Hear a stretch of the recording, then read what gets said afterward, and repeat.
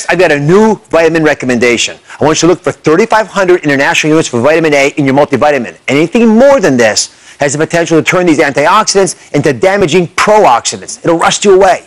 And finally, for my complete list of anti-aging smoothies, visit DrOz.com. You'll be glad you did when you feel better and look younger than ever before. Make this the year to put yourself and your health first. Stick with me and we can make it happen together. You take care.